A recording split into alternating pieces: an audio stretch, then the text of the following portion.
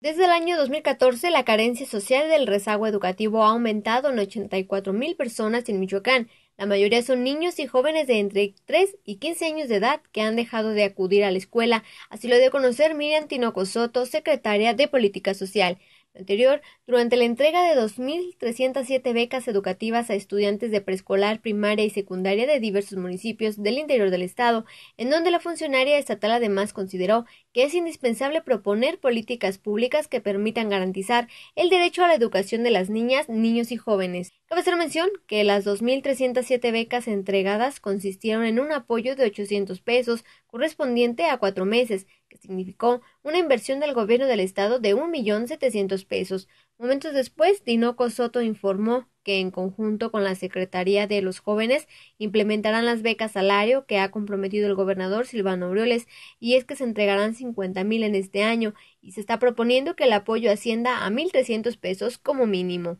Para respuesta, Lilia Martínez.